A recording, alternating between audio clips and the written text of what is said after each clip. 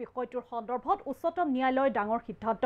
Counselling প্ৰক্ৰিয়া বন্ধ নহয় বুলি মন্তব্য উচ্চতম ন্যায়ালয় আৰু পৰীক্ষা বাতিল কৰাৰ আবেদনৰ সন্দৰ্ভত জাননী জাৰি এন টি এক। আৰু পৰীক্ষাৰ পবিত্ৰতা প্ৰভাৱিত হৈছে গতিকে আমি এন টি এৰ পৰা উত্তৰ বিচাৰোঁ। এই বিষয়ে আমি সবিশেষ জনাইছোঁ ঈশান নিউজৰ দৰ্শকসকলক। নীটৰ ফলাফল বিসংগতিৰ বিষয়টোৰ সন্দৰ্ভত উচ্চতম ন্যায়ালয়ৰ ডাঙৰ সিদ্ধান্ত। কাউন্সেলিং প্ৰক্ৰিয়া বন্ধ নহয় বুলি মন্তব্য উচ্চতম ন্যায়ালয়ৰ। পৰীক্ষা বাতিল কৰা আবেদনৰ সন্দৰ্ভত জাননী জাৰি এন টি আৰু পৰীক্ষাৰ পবিত্ৰতা প্ৰভাৱিত হৈছে গতিকে আমি এন টি এৰ পৰা উত্তৰ বিচাৰোঁ। পৰীক্ষা বাতিলৰ সন্দৰ্ভত দাখিল কৰা আবেদনৰ শুনানিত এই মন্তব্য ন্যায়ালয়ৰ।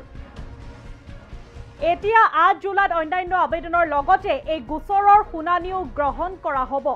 আৰু ন্যায়াধীশ বিক্ৰম নাথ আৰু ন্যায়াধীশ আছাদ্দিন আম আমনুল্লাৰ সৈতেও আৰু নীটৰ পৰীক্ষাৰ প্ৰশ্নকাকতৰ ফাদিলকে ধৰি বিভিন্ন বিসংগতিৰ অভিযোগো উঠিছিল। আৰু ইয়াৰ পিছতে একাংশ ভুক্তভোগী শিক্ষাৰ্থীয়ে গোচৰ ৰুজু কৰিছিল সৰ্বোচ্চ ন্যায়ালয়ত। আৰু আবেদনত ফলাফল প্ৰত্যাহাৰ কৰি পুনৰ পৰীক্ষা অনুষ্ঠিত কৰাৰো দাবী জনাইছিল।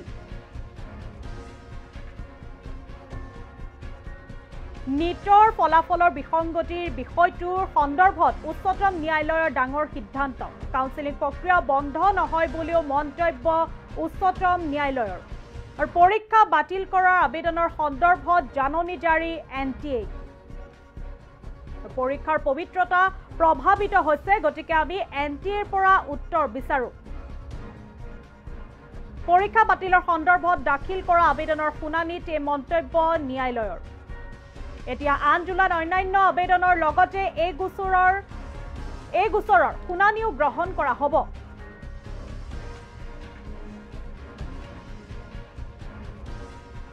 নীটৰ পৰীক্ষাৰ প্ৰশ্নকাকত ফাদিলকে ধৰি বিভিন্ন বিসংগতিৰ অভিযোগ উঠিছিল।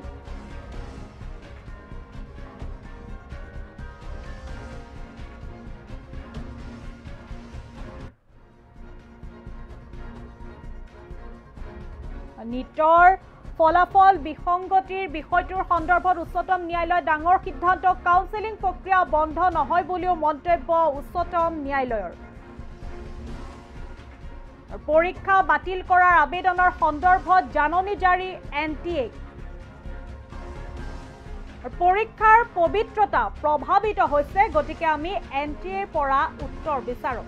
পৰীক্ষা বাতিলৰ সন্দৰ্ভত দাখিল কৰা আবেদনৰ শুনানিত এই মন্তব্য ন্যায়ালয়ৰ।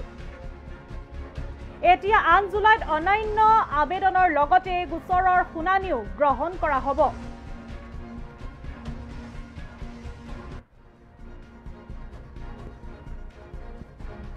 আৰু ন্যায়াধীশ বিক্ৰম নাথ আৰু ন্যায়াধীশ আছাদুদ্দিন আমানুল্লাহৰ বিচাৰপীঠত হয় এই শুনানি। আমি পুনৰ জনাইছোঁ ন্যায়াধীশ বিক্ৰম নাথ আৰু ন্যায়াধীশ আছানুদ্দিন আমানুল্লাহৰ বিচাৰপীঠত হয় এই শুনানি।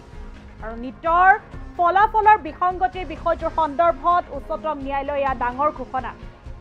ন্যায়াধীশ বিক্ৰম নাথ আৰু ন্যায়াধীশ আছানুদ্দিন আমানুল্লাহৰ বিচাৰপীঠত হয় এই শুনানি। আৰু পৰীক্ষা বাতিল কৰাৰ আবেদনৰ সন্দৰ্ভত জাননী জাৰি এন টি এ আৰু পৰীক্ষাৰ পবিত্ৰতা প্ৰভাৱিত হৈছে গতিকে আমি এন টি এৰ পৰা উত্তৰ বিচাৰোঁ।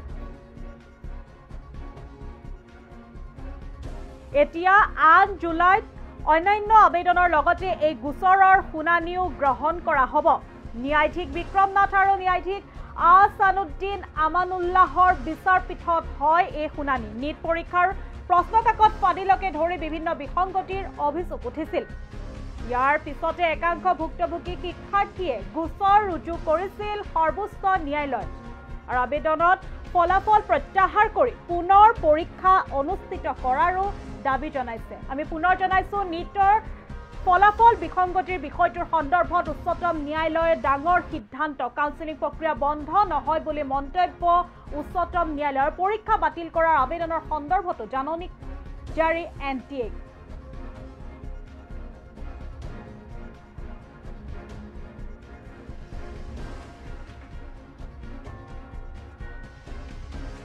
পৰীক্ষা বাতিলৰ সন্দৰ্ভত দাখিল কৰা আবেদনৰ শুনানিত এই মন্তব্য ন্যায়ালয়ৰ। এতিয়া আন জুলাইত অন্যান্য আবেদনৰ লগতে এই গোচৰৰ শুনানিও গ্ৰহণ কৰা হ'ব। ন্যায়াধীশ বিক্ৰম নাথ আৰু ন্যায়াধীশ আছানুদ্দিন আমানুল্লাহৰ বিচাৰপীঠত হয় এই শুনানি।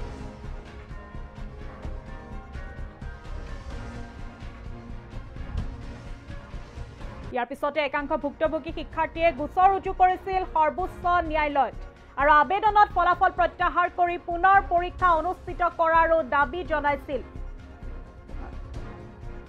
নীট পৰীক্ষাৰ ফলাফলৰ বিসংগতিৰ বিষয়টোৰ সন্দৰ্ভত এয়া উচ্চতম ন্যায়ালয়ৰ এক ডাঙৰ সিদ্ধান্ত। কাউন্সেলিং প্ৰক্ৰিয়া বন্ধ নহয় বুলিও মন্তব্য উচ্চতম ন্যায়ালয়ৰ।